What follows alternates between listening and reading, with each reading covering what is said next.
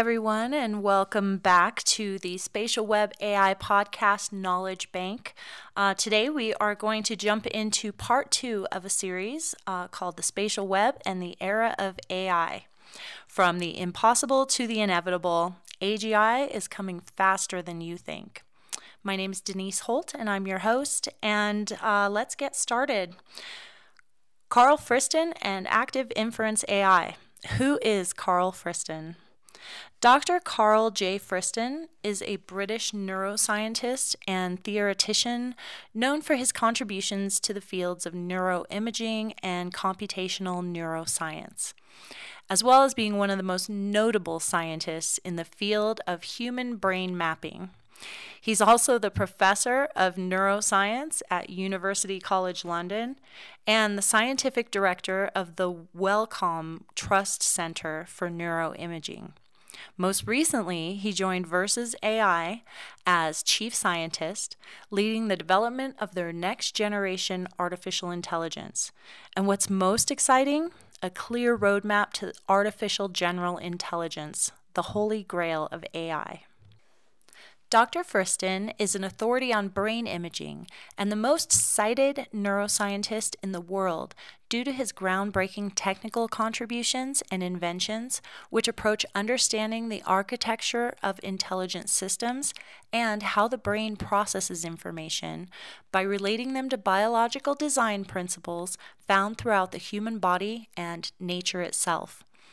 His early work was motivated by schizophrenia research, where he made some truly groundbreaking technical contributions, developing statistical tools for analyzing brain data.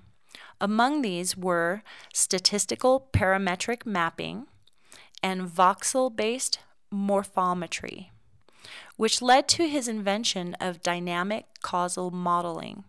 Used to interpret the structuring of distributed systems like brain activity. From there, his work led him to become the pioneer of active inference and the free energy principle, based on the theory of free energy minimization, demonstrating how neural networks are optimized for efficiency. Recognized as the number one influential neuroscientist in the world by Semantic Scholar in 2016, Karl Friston has received several prestigious accolades for his work in the field of neuroscience. Notable awards include in 2016, the recipient of the Charles Branch Award for Unparalleled Breakthroughs in Brain Research. 2016, the Glass Brain Award from the Organization for, for Human Brain Mapping. The 2016 Schwartz Prize for Theoretical and Computational Neuroscience, awarded by the Society for Neuroscience. The 2017 Brain Prize, awarded by the Grete Lundbeck European Brain Research Foundation the 2018 Royal Society Wolfson Research Merit Award, the 2018 Golden Brain Award awarded by the Minerva Foundation, and the 2019 Royal Society Fellowship. He also has been honored with several prestigious lectureships, such as the 2017 BBC Reith lectures, the 2018 Penrose lecture, the 2019 David Marr lecture, and the 2020 Goulstonian lecture. Additionally, Professor Friston has also been elected as a Fellow of the Academy of Medical Sciences and a member of the European Dana Alliance for the Brain. So, what exactly is active inference and the free energy principle? Active inference is a theoretical framework that describes how agents, like animals, robots, or artificial systems, can maintain their internal states and behavior in unison with their goals or objectives. The free energy principle is the theoretical foundation of active inference. It proposes that organisms or agents maintain their internal states and behavior by acting in a way that minimizes the difference between their current beliefs about the world and what they expect to be true, In other words, agents try to minimize the surprise or uncertainty about their beliefs by mitigating the discrepancy between what they expect to happen and what actually ends up happening. In the context of artificial intelligence, active inference and the free energy principle are used to explain how agents can learn and adapt to new situations and how they can generate predictions and plan actions based on their goals or objectives. The idea is that an agent can use active inference to minimize the free energy and optimize its behavior in a way that is consistent with its objectives, which leads to more accurate position, predictions and results, the real goal of AI. Why is Dr. Karl Friston the most important figure in the world of AI? Dr. Friston has been working on the concept of active inference and its application to artificial intelligence for more than a decade. In 2010, he published a scientific paper titled The Free Energy Principle A Unified Brain Theory in which he first introduced the concept of active inference, proposing that active inference can be viewed as a general principle of self organization that is not restricted to the brain but can be applied to artificial systems. Since then, Friston and his colleagues have been exploring the use of active inference and the free energy principle to artificial neural networking systems, developing methods and algorithms for active inference in machine learning and artificial intelligence. Most recently, in a press release on December 1, 2022, Verses AI, a cognitive computing company specializing in next generation AI and creator of the Spatial Web Protocol, announced the addition of Dr. Karl Friston, welcoming him as the chief scientist leading Verses AI research and development through model based AI for active inference. In the announcement, Gabriel Rene, founder and CEO of Verses, expressed his excitement, stating, quote, Dr. Friston's breakthrough work in neuroscience and biologically inspired AI, known as active inference, aligns beautifully with our vision and mission to enable a smarter world where AI powers the applications of the 21st century. As the originator of this principle, it's only fitting that Karl has a significant role in Verses AI research and development all the way through their applied uses in product commercialization. Active inference is a biologically inspired approach to AI systems. As a method for understanding sentient behavior, incorporating the brain, cognition, and behavior, modeled after the design principles from nature for how the brain, nervous system, and body act and react, model based AI for active inference enables us to overcome current limitations within machine learning, deep learning AI models, providing a realistic path towards artificial general intelligence. So, what does this mean for the spatial web? Active inference AI the free energy principle through Bayesian inference allows a neural network to self optimize through intake and continuous updating of new real time sensory data, while simultaneously considering previously established outputs and determinations. So, past decisions plus new inputs plus future incomes leads to self optimization and self evolution. A self evolving system evolves over time. Current systems are more like a machine. Neural nets are trained to do a specific task. A self evolving system is learning from moment to moment and upgrading its world model, and thus mimics biology while also enabling general intelligence. Within the free energy principle, Neural networks self optimize through a set of mathematical rules, enabling next generation artificial intelligence to efficiently learn, predict, plan, and make decisions. Free energy principle is perfectly suited to the programming language of the spatial web, HSML, Hyperspace Modeling Language, which enables computable context based on defining, recording, and tracking the changing details in physical and digital dimensions, social dimensions, meanings, cultures, conditions, circumstances, situations, whether geometrical, geopolitical, or geosocial by nature. As impressive as all the current AI models are, it's important to understand they're not truly artificial intelligence. Although very useful tools, they are nothing more than deep learning predictive machines with an effective ability to recognize patterns. There's no actual thinking taking place, nor will they ever be capable of it. They are unable to understand any of the information they're processing.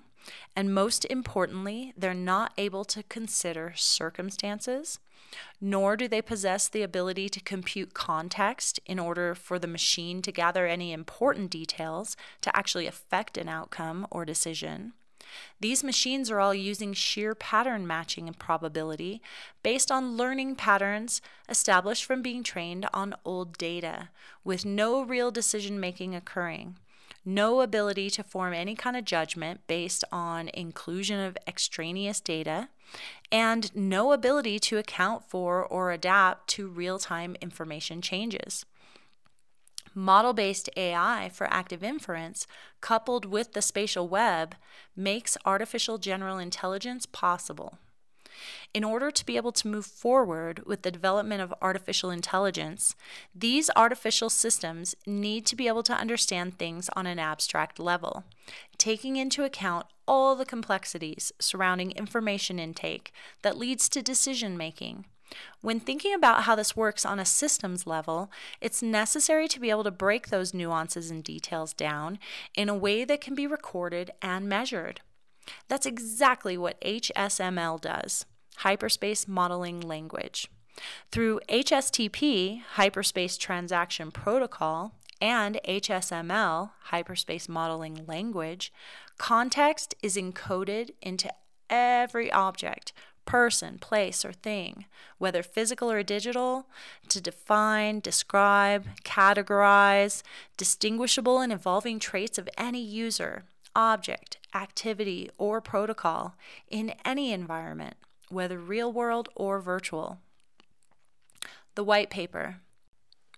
In the recently released white paper entitled Designing Ecosystems of Intelligence from First Principles, established and written by Karl J. Friston and the entire team at the Verses Research Lab, their vision for artificial intelligence research and development is laid out with the purpose of fostering, quote, a cyber physical ecosystem of natural and synthetic sense making in which humans are integral participants, what we call shared intelligence. This vision is premised on active inference, a formulation of adaptive behavior that can be read as a physics of intelligence, and which inherits from the physics of self organization. In this context, we understand intelligence as the capacity to accumulate evidence for a generative model of one's sensed world, also known as self evidencing. The concept is centered around the spatial web ecosystem becoming a distributed network of intelligent systems, basically AIs nested within AIs, interacting and evolving with each other simultaneously in real time able to calculate decisions based off continuously changing context and data across interactions between all people, places, and things in any space, whether real or virtual. Network structures are at the core of the advanced intelligence. Whether considering any of the body's biological systems, circulatory, nervous, or cellular structure, or any other species in nature, even ant colonies, there is a self organization aspect to the network operation. Quoting the white paper, quote, we argue that the design of intelligent systems must begin from the physicality of information and its processing at every scale or level of self organization. The result is AI that scales up the way nature does, by aggregating individual intelligences and their locally contextualized knowledge bases within and across ecosystems into nested intelligences, rather than by merely adding more data, parameters, or layers to a machine learning architecture. Some of the top considerations outlined by the research team are these how to optimize communication flow between nested intelligence agents within an ecosystem of shared intelligence across spatial and cognitive domains.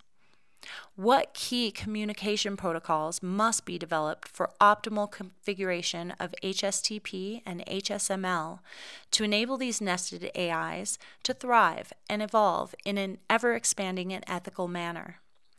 Diminishing the energy cost between shared information by recognizing and preserving individuation between aspects of entities and their environments through self evidencing, resulting in accurate sensory exchange with the ability to manage complexity, which in turn maximizes predictive accuracy in less time with the least amount of effort cultivating curiosity on the part of the AI agent between AI and human interaction, and cultivating the communication between AI agents for optimizing performance and task sharing between specialized AI agents. Next generation AI systems must be based off of a world model, holding definitive beliefs regarding the state of that world with the ability to adapt and evolve within shared narratives. The spatial web, Web 3.0, becomes this AI world model foundational ecosystem comprised of digital twins of every space, both real world and digital, along with every object, person, place, or thing within it. Model based AI for active inference within this new network of everything transforms into an artificial intelligence organism that within itself represents the ultimate generative model for scaling to super intelligence. Utilizing the HSML context programming baked into each entity within this new network, a new collective superintelligence emerges, actively learning and processing real time information and situational cues to continually refine its understanding of all things in all spaces. This ability for self evidencing and self organization naturally cultivates a more and more sophisticated entity of shared intelligence between human and machine truly augmenting the human experience, redefining what it means to be human. Ethical intentions. Current AI models, machine learning, deep learning AI, are akin to black boxes. They intake prompts and output data without any way to understand the pathway to the results. The process within the neural networking of these systems is random and obscured, so there's no control, no way to audit or tweak its underlying approach to its processing actions. There's no way to refine its tendency towards accuracy or other other than to feed it more diverse examples to include inside its comparison bank. This is also very problematic when you consider the materials used to train the system are bound to be flawed with human bias and corrupt data. Active inference AI within the spatial web is a completely auditable system on every level, and the pathway to results is both transparent and controllable. In regard to the other ethical concerns, the AI research team at Verses possesses a high awareness to the potential dangers in balancing between individual perspectives and the abuses of power, especially when considering the pre existing power structures within society and cultures, which will inevitably coexist within the spatial web. In this white paper, the ideology is clear. Quote, we believe that developing a cyber physical network of emergent intelligence in the manner described above not only ought to, but for architectural reasons must, be pursued in a way that positively values and safeguards the individuality of people as well as potentially non human persons. They go on to further exemplify this point by illustrating how every person is considered unique with their own life experiences and their own interpretations of meaning accumulated along the way. Each person has a singular and special set of knowledge that is valuable to the diverse understanding of the collective. To enable complex shared superintelligence, diversity of perspective is essential and must be safeguarded and preserved. Proposed stages of development. It's closer than you think. The Verses AI research team proposed that AGI and ASI artificial superintelligence will emerge from the interaction of intelligences networked into a hyperspatial web or ecosystem of natural and artificial intelligence by way of active inference AI as being uniquely suited to the task of creating a nested network of shared intelligence systems within the hyperspace ecosystem of the spatial web. The proposed evolution timeline for achievement looks something like this S0, System Intelligence. We're there now. It includes deep learning and Bayesian reinforcement learning. S1, Sentient Intelligence. We're two years from that. And that would be described as responsive to sensory impressions Active inference based on belief updating and propagation, displaying and possessing characteristics of curiosity, decision making that takes into account preferences and chooses a course of action based on expected value add. So, those are all characteristics of this stage. So, then stage two uh, sophisticated intelligence, and uh, Verses predicts we're four years from that. And that's when we achieve artificial general intelligence, a level of intelligence that predicts and considers consequences of outcomes, moving from cause and effect of what will happen if I do this to what will I believe or know if I do this. And then there's stage three, S3 sympathetic or sapient intelligence. And uh, they say we're eight years from that uh, AGI that is capable of self recognition in both users and other AI, able to understand and take on perspectives of others.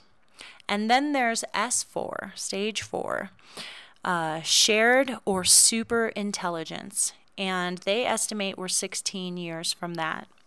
Artificial superintelligence, naturally occurring intelligence emerging from coordinate, coordination of sympathetic intelligent agents with users and other interaction partners, with the important distinction that we believe that such intelligence will emerge from dense interactions between agents networked into a hyperspatial web. So, uh, they believe that the spatial web is the absolute entity that is going to lead us to artificial superintelligence. And Dan Mapes, president and co founder of Verses and director of the Spatial Web Foundation, says this quote, AGI has been the dream of science fiction for decades, but it has seemed impossible for machine learning to get there.